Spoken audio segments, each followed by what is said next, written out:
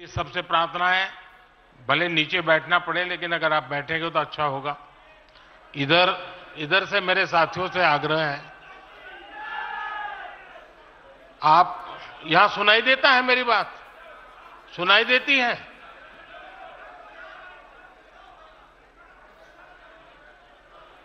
जरा प्रबंधक उस तरफ़ देखे भाई।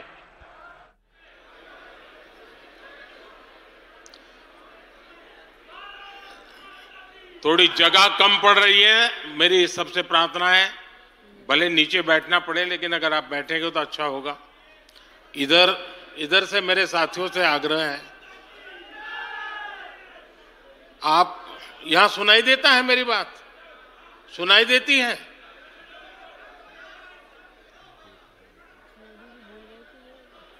जरा प्रबंधक उस तरफ़ देखे भाई। जगह नहीं है तो कृपा करके आप कहीं पर भी नीचे बैठ जाइए। इतनी पब्लिक आई है कि हम संभाल ही नहीं पा रहे हैं। अरे रे। ये स्ट्रेटजी है। अरे। यही तो बातें हैं मोदी की जो फिर। भारत माता की। भारत माता की। राष्ट्रीय अधिवेशन में यहाँ उपस्थित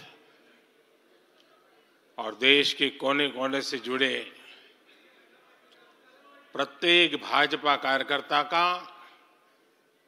मैं अभिनंदन करता हूँ।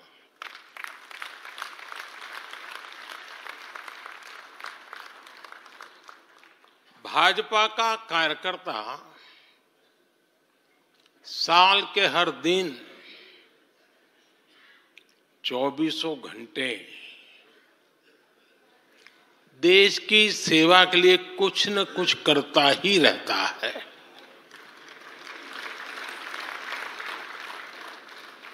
लेकिन अब अगले सौ दिन नई ऊर्जा, नया उमंग, नया उत्साह नया विश्वास, नए जोश के साथ काम करने का है। आज 18 फरवरी है और इस कालखंड में जो युवा 18 वर्ष के पड़ाव पर पहुँचे हैं, वो देश की 18वीं लोकसभा चुने, का चुनाव करने वाले हैं।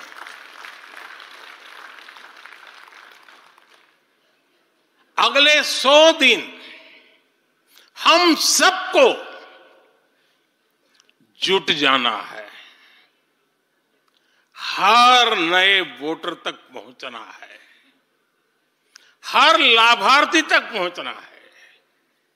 हर वर्ग, हर समाज हर पंथ, परंपरा, सब लोगों के पास पहुँचना है। हमें सबका विश्वास हासिल करना है। और जब सबका प्रयास होगा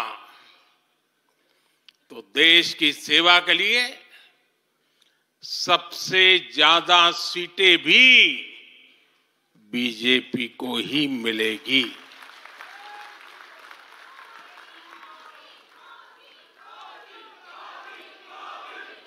और आज मैं कल मुझे पदाधिकारियों के साथ बैठने का अवसर मिला। कल दोपहर के से आप सबके साथ बैठने का अवसर मिला। मैं नड्डा जी को और उनकी पूरी टीम को और आप सबको बधाई देता हूँ। जब मैं पदाधिकारियों की बैठक में साल भर के काम का रिपोर्टिंग सुन रहा था, मैं सचमुच में इतना प्रभावित हुआ कि भाजपा के कार्यकर्ता सत्ता में रहने के बावजूद भी समाज के लिए इतना करते हैं। दिन रात दौड़ते हैं, संकटों के बीच भी करते हैं। और सिर्फ़ और सिर्फ़ भारत माँ की जय के लिए करते हैं। ये दो दिन भी जो चर्चा हुआ, विचार विमर्श हुआ है, देश के उज्जवल भविष्य के लिए हमारे संकल्प को दृढ़ करने वाली हर बातें हुई है। मैं इस भव्य आयोजन के लिए प्रेरक विषयों के लिए आप सबको भी, देश भर के कार्यकर्ताओं को भी, नड्डा जी के माध्यम से सबका अभिनंदन करता हूँ। साथियों, आज मैं समस्त देशवासियों की तरफ़ से संत शिरोमणि, आचार्य श्री 108 पूज्य विद्यासागर जी महाराज को श्रद्धा पूर्वक आदर पूर्वक नमन करते हुए श्रद्धांजलि देता हूँ। उनके संलेखन समाधिस्थ होने की सूचना मिलने के बाद उनके अनुयायी शोक में है। हम सभी शोक में हैं। और मेरे लिए तो यह एक व्यक्तिगत क्षति जैसा है। वर्षों तक मुझे व्यक्तिगत रूप से अनेक बार उनसे मिलने का, उनके दर्शन करने का, उनके मार्गदर्शन प्राप्त करने का अवसर मिला है। कुछ ही महीने पहले ऐसा ही मन कर गया था, मेरे प्रवास कार्यक्रम को बदल करके बहुत सुबह सुबह मैं उनके पास पहुँच गया था। तब पता नहीं था कि मैं दोबारा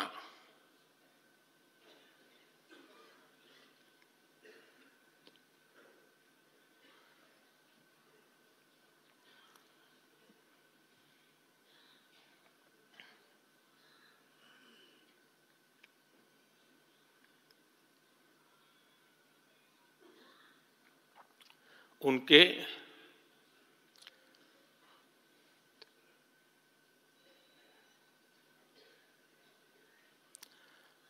दर्शन नहीं कर पाऊँगा।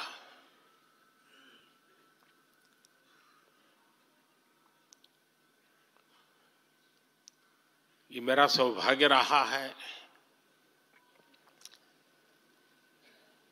कि पिछले पचास से भी ज़्यादा वर्षों से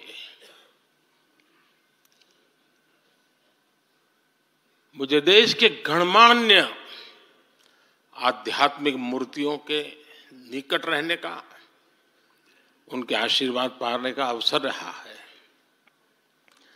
और इसलिए मैं उस आध्यात्मिक जगत की उस शक्ति को भली भांति जानता हूँ, समझता हूँ, अनुभव करता हूँ।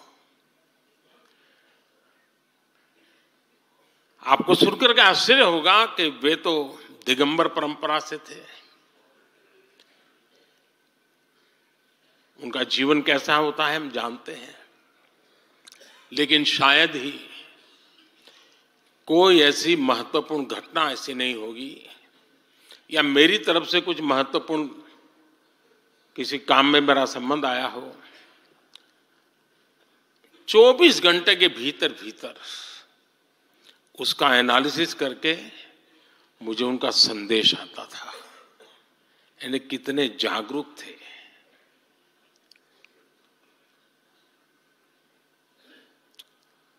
और अपनी विराट आध्यात्मिक यात्रा।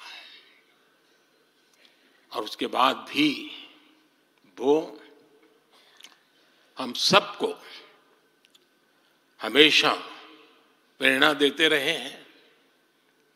जीवन भर उतनी सौम्यता के साथ उनका लोगों को मिलना, उन्होंने हमारे युवाओं को परंपराओं से जोड़ा, गरीबों तक शिक्षा और स्वास्थ्य की सुविधाएँ पहुंचाई।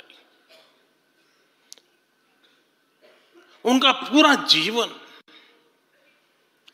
उस व्यक्ति के लिए प्रेरणा जैसा है जिसने गरीबों और वंचितों के लिए काम करने का संकल्प लिया है। आज जब भारत प्रगति के पथ पर आगे बढ़ रहा है, मुझे विश्वास है कि उनके सिद्धांत और उनका आशीर्वाद ऐसे ही भारत भूमि को प्रेरणा देता रहेंगे।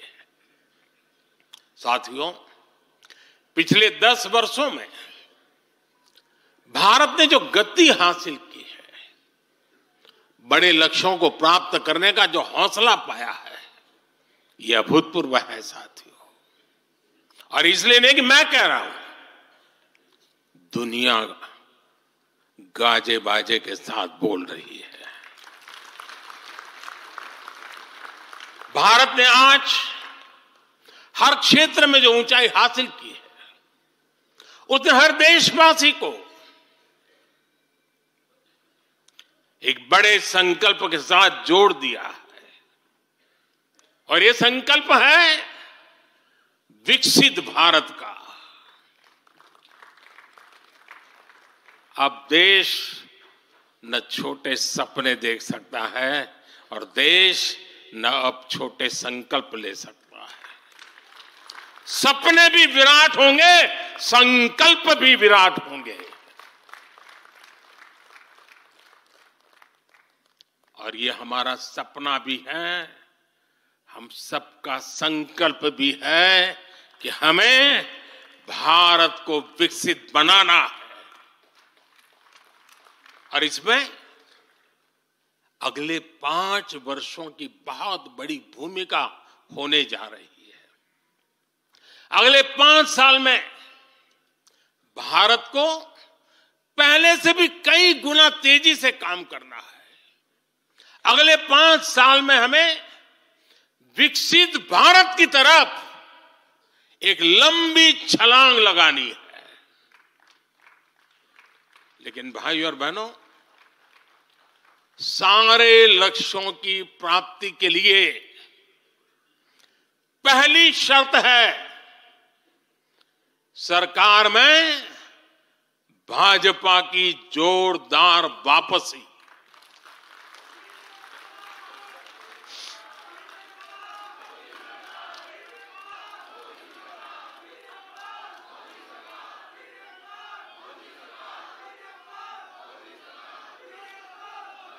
आज विपक्ष के नेता भी एनडीए सरकार 400 पार के नारे लगा रहे हैं।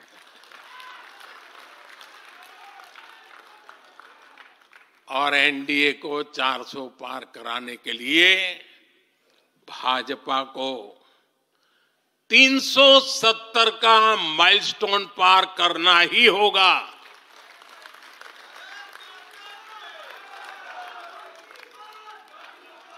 साथियों, कई बार लोग मुझसे कहते हैं,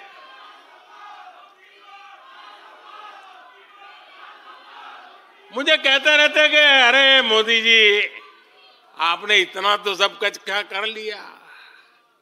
जो बड़े बड़े संकल्प आपने लिए, वो तो पूरे कर लिए अब क्यों इतनी भागदौड़ करनी? साथियों, पूरा देश मानता है दस साल का बेदा कार्यकाल और 25 करोड़ लोगों को गरीबी से बाहर निकालना, ये सामान्य उपलब्धि नहीं है। पूरा देश मानता है, हमने देश को महाघोटालों और आतंकी हमलों के खौफ से मुक्ति दिलाई है। पूरा देश मानता है। हमने गरीब और मिडिल क्लास का जीवन बेहतर करने का प्रयास किया है। लेकिन जो लोग सोचते हैं कि बहुत हो गया, ऐसा सोचने वालों को मैं एक पुरानी घटना ज़रूर बताना चाहूँगा। एक बार एक बहुत बड़े नेता मुझे मिले। मेरे प्रधानमंत्री पद के दूसरे कार्यकाल पे। बोले, मोदी जी, प्रधानमंत्री बनना बहुत बड़ी बात है। आप बन गए। आपने इतने दशरथों के संगठन का भी काम कर लिया। मुख्यमंत्री के रूप में भी इतना लंबा समय रह चुके। प्रधानमंत्री में भी दोबारा आ गए। अब इतना काम पा लिया है। अब तो थोड़ा बैठो, आराम करो, बहुत कर लिया। ये उन्होंने मुझे कहा था, उनकी वो भावना राजनीति के पुराने अनुभवों से थी। लेकिन साथियों, हम राजनीति के लिए नहीं राष्ट्र नीति के लिए निकले हैं। हम तो छत्रपति शिवाजी महाराज को मानने वाले लोग हैं। जब छत्रपति शिवाजी महाराज का राजाभिषेक हुआ तो उन्होंने ये नहीं किया कि अब तो छत्रपति बन गए, सत्ता मिल गई तो चलो, उसका आनंद लो। उन्होंने अपना मिशन जारी रखा। ऐसे ही उनसे प्रेरणा लेकर के मैं अपने सुख वैभव के लिए जीने वाला व्यक्ति नहीं हूँ। मैं बीजेपी सरकार का तीसरा टर्म सत्ता भोग के लिए नहीं मांग रहा हूँ। मैं राष्ट्र का संकल्प लेकर निकला हुआ व्यक्ति हूँ। अगर मैं अपने घर की ही चिंता करता तो आज करोड़ों गरीबों के घर नहीं बना पाता। मैं देश के करोड़ों बच्चों के भविष्य के लिए जीता हूँ, जागता हूँ, जूझता रहता हूँ। देश के करोड़ों युवाओं, करोड़ों बहनों बेटियों, करोड़ों गरीबों का सपना ही मोदी का संकल्प है।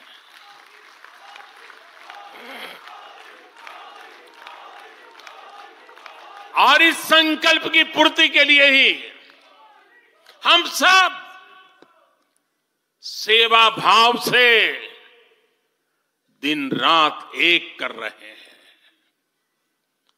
दस वर्षों में हमने जो हासिल किया, साथियों वो तो एक पड़ाव मात्र है। मंजिल तक पहुँचने का एक नया विश्वास है। अभी हमें देश के लिए कोटि कोटि भारतीयों के लिए, हर भारतीय का जीवन को बदलने के लिए बहुत कुछ हासिल करने का सपने है, संकल्प है, और उसके लिए बहुत से निर्णय भी बाकी है।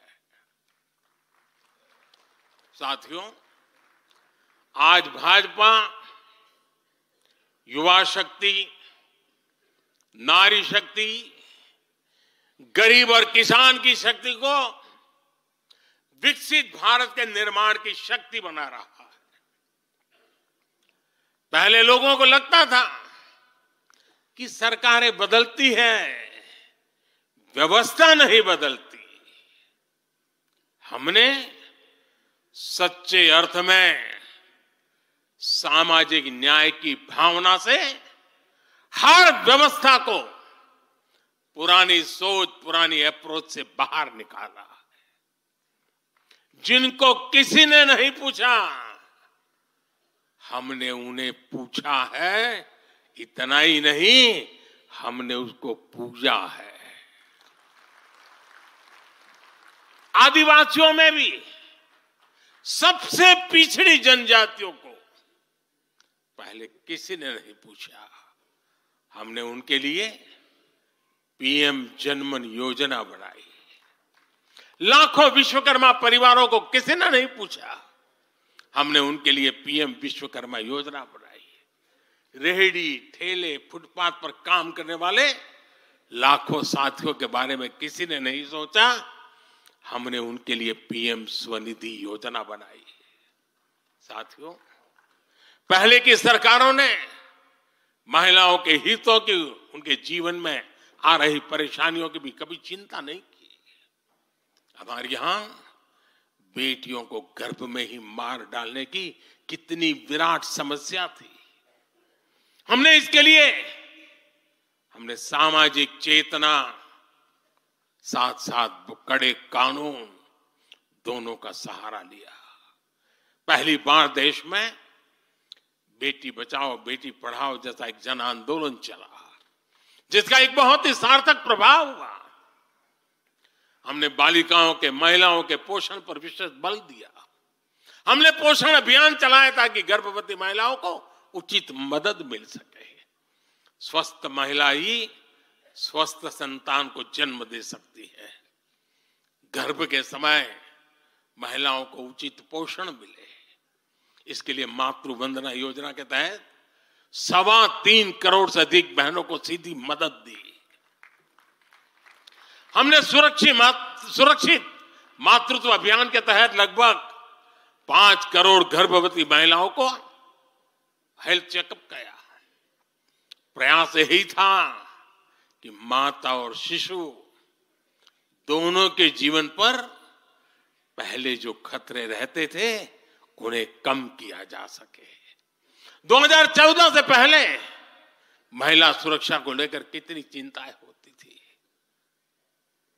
हर कोई चिंतित रहता था। हमने रैप, बलात्कार ऐसे अपराधों को, संगीन अपराधों में फांसी की सजा सुनिश्चित की। ऐसे मामलों का तेज़ी से निपटारा हो, इसके लिए भी विशेष व्यवस्थाएँ बनाई।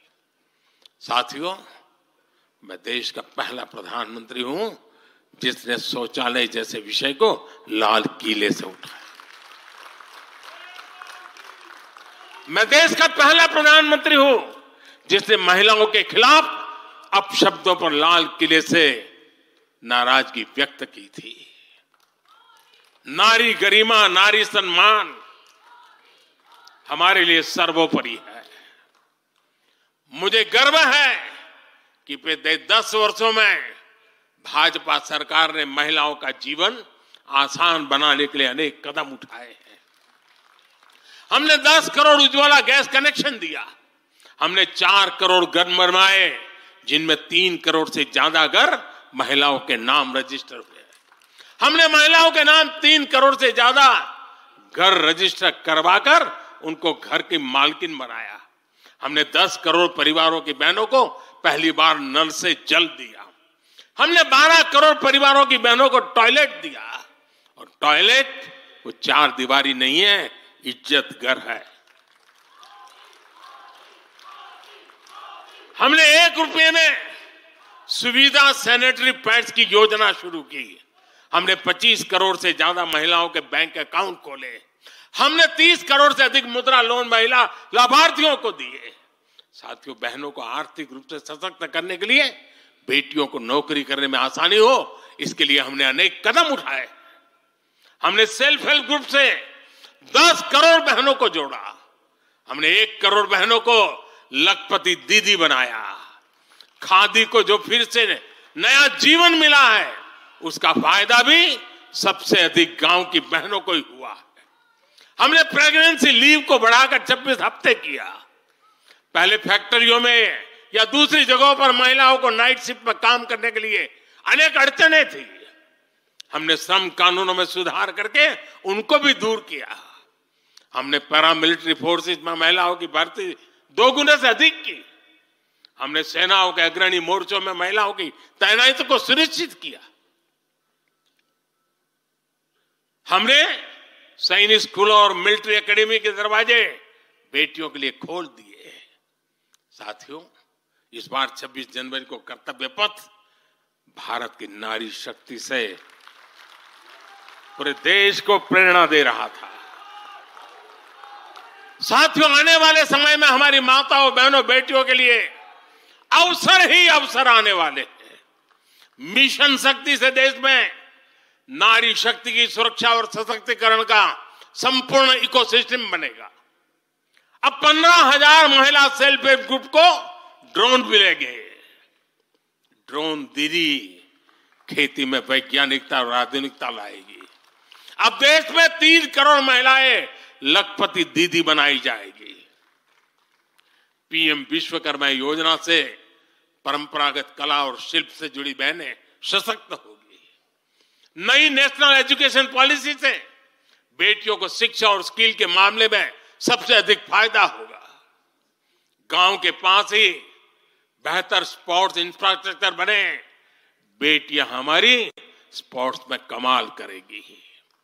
साथियों आज जब मैं बीते बीस दस वर्षों की तरफ़ नज़र डालता हूँ तो कितना ही कुछ याद आता है। ये दस वर्ष साहसिक फैसलों दुम दूरगामी निर्णयों के नाम है। जो काम सदियों से लटके थे, हमने उनका समाधान करने का साहस करके दिखाया है। अयोध्या में भव्य राम मंदिर का निर्माण करके हमने पाँच सदियों का इंतज़ार खत्म किया है।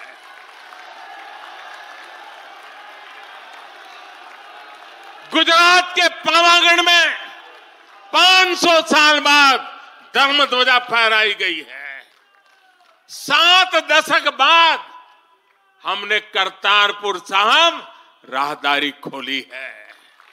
सात दशक के इंतज़ार बाद देश को आर्टिकल 370 से मुक्ति मिली है।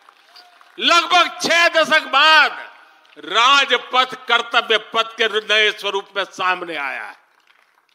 चार दशक बाद आखिरकार वन रैंक, वन पेंशन की मांग पूरी हुई है। तीन दशक बाद आखिरकार देश को नई राष्ट्रीय शिक्षा नीति मिली है। तीन दशक बाद आखिरकार लोकसभा और विधानसभा में महिलाओं को आरक्षण मिला है। तीन तलाक की बुराई के लिए विरुद्ध कड़ा कानून बनाने का साहस भी हमने दिखाया है। दशकों से नए संसद भवन की ज़रूरत महसूस हो रही थी। उसे हमने ही पूरा किया। यह प्रत्येक भाजपा कार्यकर्ता का सौभाग्य है कि वैसी अनेक सिद्धियों का निमित्त बन सके।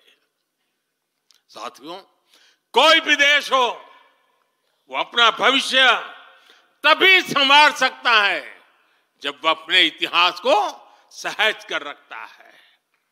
बीते वर्षों में भारत ने अपने इतिहास को सहजा भी है, संवारा भी है। हमने नेशनल वॉर मेमोरियल का निर्माण किया। हमने राष्ट्रीय पुलिस स्मारक बनाई। हमने अंडमान में नेताजी सुभाष और परमवीर चक्र विजेताओं के नाम पर द्वीपों का नामकरण किया। हमने दांडी में नमक सत्याग्रह का आधुनिक स्मारक का निर्माण किया। हमने बाबा साहब आम्बेडकर से जुड़े पंच तीर्थ को विकसित किया। हमने रांची में भगवान बिरसा मुंडा की स्मृति में म्यूज़ियम बनाया। सरदार पटेल को समर्पित स्टैच्यू ऑफ़ यूनिटी हमारे कार्यकाल में बनी। 31 अक्टूबर को राष्ट्रीय एकता दिवस हमारी सरकार ने घोषित 15 नवंबर को जनजातीय गौरव दिवस के रूप में घोषित करने का अवसर हमें मिला। 14 अगस्त को विभाजन विभीषिका दिवस के रूप में याद करने का निर्णय हमारी सरकार ने लिया।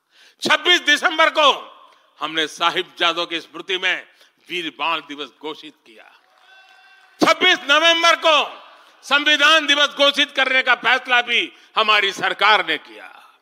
और 21 जून को संयुक्त राष्ट्र इंटरनेशनल योगा डे भी हमारी ही सरकार के प्रयासों से घोषित किया।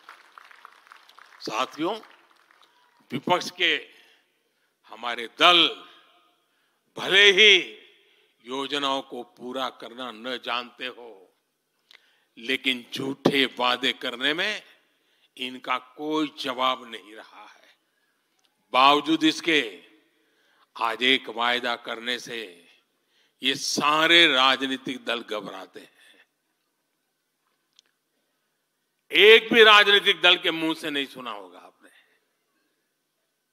जो वायदा हम कर रहे हैं ना, इसका ज़िक्र तक करने का उनमें सामर्थ्य नहीं है।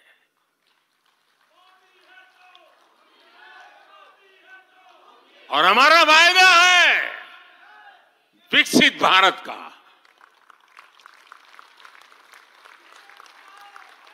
इन लोगों ने स्वीकार कर लिया है ये लोग भारत को विकसित नहीं बना सकते। सिर्फ़ पर सिर्फ़ बीजेपी ही ऐसी पार्टी है। एनडीए ही ऐसा एक गट है, जिसने इसका सपना देखा है। हम मिशन मोड पर भारत को 2047 तक देश जब आज़ादी के 100 साल मनाएगा, हम भारत को विकसित देश बनाने के लिए काम कर रहे हैं। हमने तीसरे टर्म में भारत को दुनिया की तीसरी बड़ी आर्थिक ताकत बनाने का संकल्प लिया है। और ये मोदी की गारंटी है।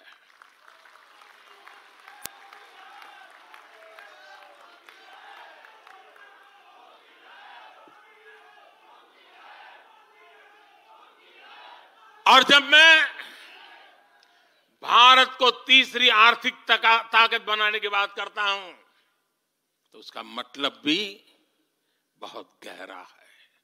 इसका मतलब है भारत के आर्थिक, सामरिक और सांस्कृतिक सामर्थ्य का कई गुना विस्तार चहु दिशा में विस्तार।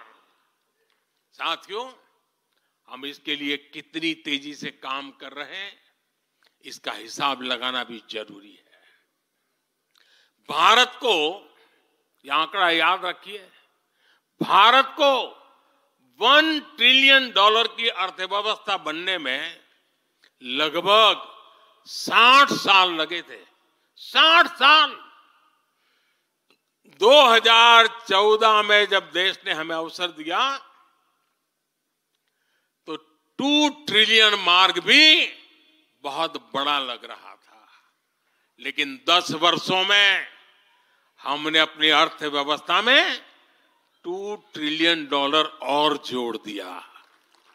एक के लिए साठ साल, दस साल में दो और जोड़ दिया। जब भारत दुनिया की ग्यारहवें नंबर की अर्थव्यवस्था था और ग्यारह से दस पर आने में दम उखड़ गया उनका। हम ग्यारह से पाँच पर ले आए। अर्थव्यवस्था जब 11 नंबर पर थी, तब इंफ्रास्ट्रक्चर का बजट सिर्फ़ दो लाख करोड़ रुपए भी नहीं बन पाता था। आज भारत पाँचवें नंबर की अर्थव्यवस्था है तो भारत का इंफ्रा बजट 11 लाख करोड़ को पार कर चुका है। इसी वजह से आज गरीबों को एक करोड़ों घर बन रहे हैं। आज गरीबों के घर तक पानी पहुँच रहा है। आज देश में रिकॉर्ड मेडिकल कॉलेज, अस्पताल, यूनिवर्सिटीज बन रहे हैं। गाँव तक की सड़कें बन रही है। जब भारत दुनिया की टॉप तीन अर्थव्यवस्थाओं में आएगा तो आप कल्पना कर सकते हैं कि विकास कार्यों के लिए हमारे पास कितनी ज़्यादा पूंजी होगी। इसलिए भारत के टॉप तीन इकोनॉमी में आने का मतलब है, भारत के हर परिवार का जीवन स्तर सुधरेगा। भारत के हर परिवार की आय बहुत अधिक बढ़ जाएगी। भारत का पब्लिक ट्रांसपोर्ट और आधुनिक बनेगा। भारत में रोज़गार के लिए नए सेक्टर खुलेंगे, रोज़गार के और ज़्यादा मौके मिलेंगे। भारत के युवाओं को भारत में ही फंडिंग के ज़्यादा से ज़्यादा अवसर आएँगे। भारत की महिलाओं को हर मोर्चे पर आगे बढ़कर नेतृत्व करने का मौका मिलेगा। हमारे किसान लेटेस्ट टेक्नोलॉजी से जुड़कर काम करेंगे। कृषि उत्पाद में वैल्यू एडिशन करेंगे। लोगों की जीवन बेहतर बनाने के लिए देश में पर्याप्त संसाधन और आवश्यक व्यवस्थाएँ मौजूद होगी। साथियों, मुझे खुशी है कि आज विकसित भारत अभियान की बागडोर भी भारत के युवाओं ने संभाली है। पिछले डेढ़ साल में विकसित भारत के संकल्प से जुड़े सुझावों के लिए। और लोगों को ऐसा लगता होगा कि हम, बात पता ऐसा नहीं है। इस पर हम डेढ़ साल से चुपचाप काम कर रहे हैं। सरकार की मशीनरी को लगाया है और आपको जानकर के खुशी होगी। अब तक पंद्रह लाख लोगों से ज़्यादा लोगों ने विकसित भारत कैसा हो रोडमैप कैसा हो इनिशिएटिव कैसे हो, नीतियाँ कैसी हो, इसमें विचार विमर्श हुआ है। लोगों ने अपने आइडिया दिए हैं और आपको जानकर के और खुशी होगी। इन पंद्रह लाख में से आधे से ज़्यादा वो लोग हैं जिनकी उम्र पैंतीस से कम है। पूरी युवा सोच के साथ हम आगे बढ़ रहे हैं। इन लाखों युवाओं ने विकसित भारत का रोड मैप सुझाया है। साथियों, युवा ऊर्जा से भरा हुआ भारत आज अपने लिए बड़े लक्ष्य तय कर रहा है। और जो लक्ष्य तय करता है, अपनी आँखों के सामने उसे प्राप्त भी करता है। हम 2029 में 2029 में, भारत में यूथ ओलंपिक के लिए तैयारी कर रहे हैं। हम 2036 में भारत ओलंपिक खेलों की मेजबानी करें, इसके लिए काम कर रहे हैं। हम 2030 तक हमारी रेलवे को नेट ज़ीरो टारगेट पर ला करके कार्बन मुक्त करने की दिशा में काम कर रहे हैं।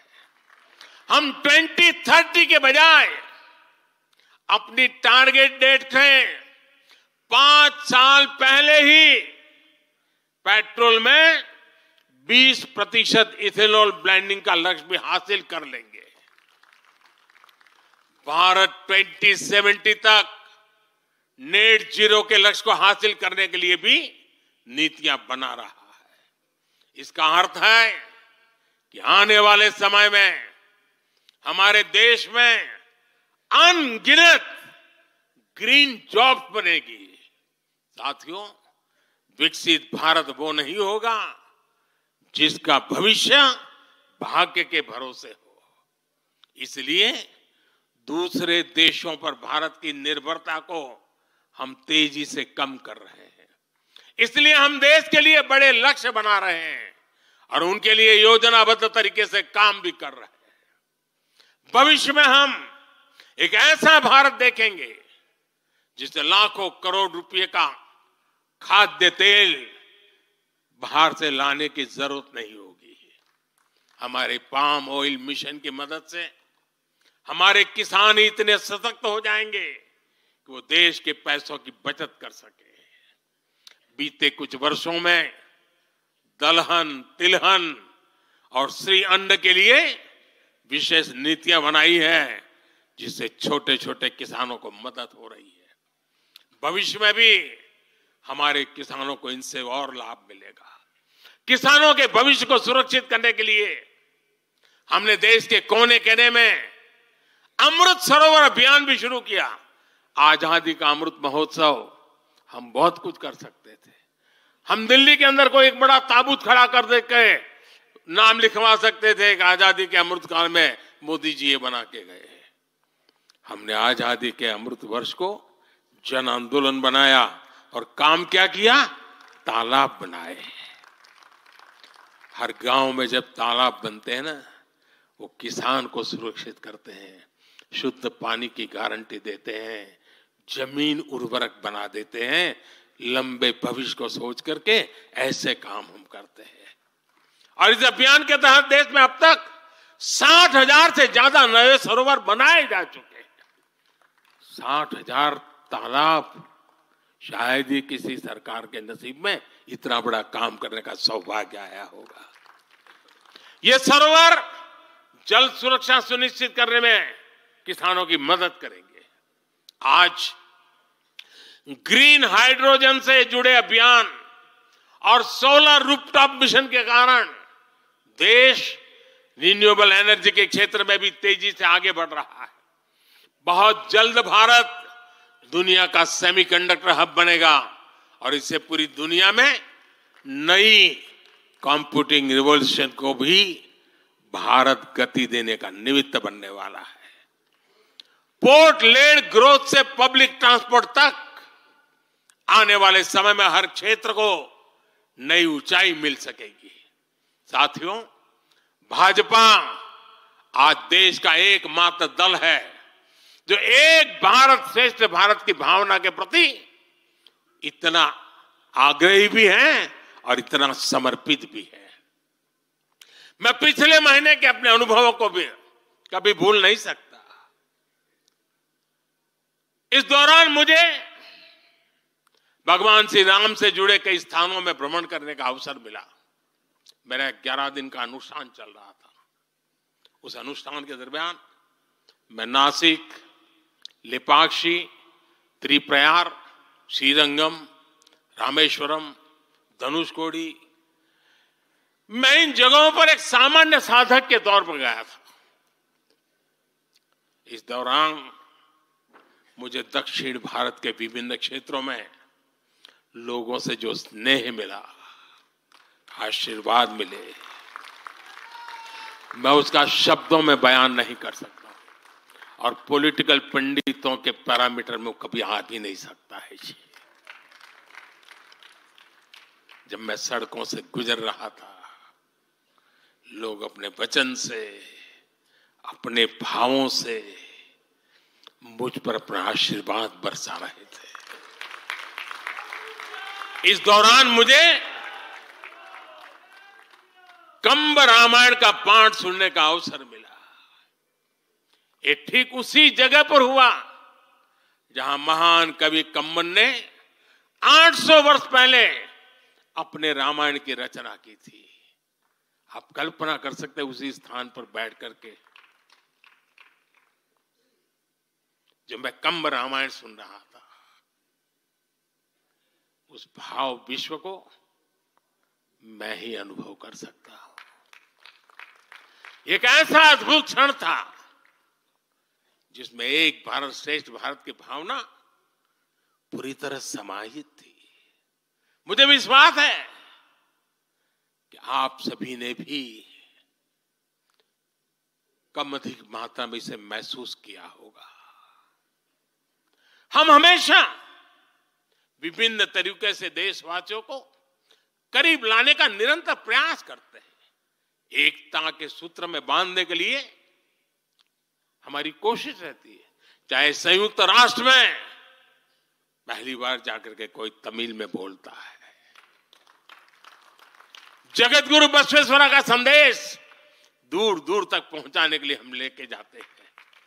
काशी तमिल संगमम का आयोजन हो, काशी तेलुगु संगमम का आयोजन हो, या फिर बीएचयू में सुब्रमण्यम भारती के नाम पर चेयर की स्थापना हो। हम जी ट्वेंटी करते हैं तो भी देश के कोने कोने में जाकर के करते हैं। हम विश्व के मेहमान आते हैं तो दिल्ली को ही देश नहीं मानते, हम हर राज्य में लेकर के जाते हैं। हमारे राजभवनों में हर राज्यों के स्थापना दिवस बनाए जाते हैं।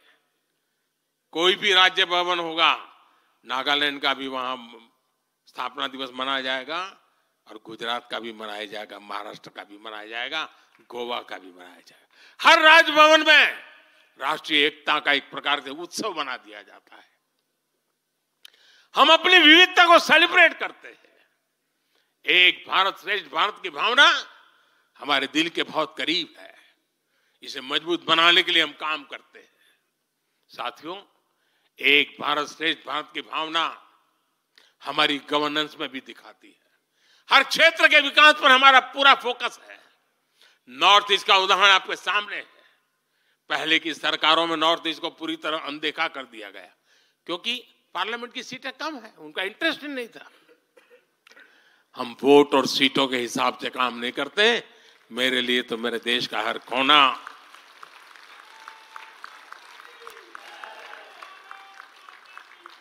समृद्ध हो, विकसित हो, ये हमारा भाव है। आज चाहे सियाचिन हो या फिर देश के आकांक्षी ज़िले हो, कोई हमसे दूर नहीं है। वो गाँव जिन्हें पहले आखिरी गाँव कहा जाता था, हमारे लिए देश के वो पहले गाँव बन गए और मेरे सारे कैबिनेट के मंत्री उन गाँवों में रात बिता करके आए। कुछ मंत्रियों को तो माइनस फिफ्टीन डिग्री में रात को रुकना पड़ा वहाँ, क्योंकि हम आत्मसात करना चाहते हैं। हमारे लिए देश का हर हिस्सा महत्वपूर्ण है। हर हिस्से पर हमारा फोकस है। साथियों, जो भी राजनीति में दिलचस्पी रखता है और जिसके लिए लोकतांत्रिक मूल्य प्रमुख रहते हैं, वो भी अगर न्यूट्रल है तो पब्लिकली हमारी प्रशंसा करते हैं। न्यूट्रल नहीं है तो खानगी में तो कर ही देते हैं। इसकी एक बड़ी वजह है। हमने समय के साथ, खुद को सकारात्मकता के साथ बदलने का प्रयास किया है। हमने अपनी राजनीतिक व्यवस्था को नए और आधुनिक विचारों के लिए खुला रखा है। आज़ादी के बाद वर्षों तक जिन्होंने हमारे देश पर शासन किया, उन्होंने एक व्यवस्था बना दी थी। उस व्यवस्था में कुछ बड़े परिवारों के लोगों को ही सत्ता के केंद्र में रहे। उनके आसपास रहने वाले लोगों को ही राजनीतिक ताकत मिलती रही। अहम पदों पर परिवार के करीबियों को ही आगे बढ़ाया गया। हमने इस व्यवस्था को भी बदल दिया। हमने नए लोगों को मौका दिया कि वो हमारी व्यवस्था का हिस्सा बने और प्रणाम ला करके दिखाएँ। इससे व्यवस्था में नयापन आया और इसका लोकतांत्रिक स्वरूप कायम रहा। हमारी कैबिनेट में रिकॉर्ड संख्या में नॉर्थ ईस्ट के मंत्री है। नागालैंड से पहली बार एक महिला राज्यसभा में सांसद बन गई है। हमें गर्व है कि हमने पहली बार त्रिपुरा के व्यक्ति को काउंसिल ऑफ़ मिनिस्टर्स के अंदर स्थान दिया है। पहली बार हमारी सरकार में अरुणाचल प्रदेश को कैबिनेट मिनिस्टर मिला। पहली बार गुर्जर मुस्लिम को राज्यसभा के लिए नॉमिनेट किया गया। हमारी सरकार में ही गोवा से कैबिनेट मंत्री बनाया गया। हमें गर्व है कि हम बीजेपी के एक ऐसी संस्कृति का हिस्सा है, जो मंत्रालय में रिकॉर्ड ओबीसी प्रतिनिधित्व सुनिश्चित किया जाता है। अमित भाई ने इसका विस्तार से वर्णन किया, इसलिए मैं ज़्यादा उसके ऊपर नहीं कहना चाहता हूँ। साथियों, हमारी सरकार सबके लिए सबका साथ, सबका विकास हमारे काम से ही चलकता है। हमें गर्व होता है जब करतारपुर साहब कॉरिडोर के द्वारा लाख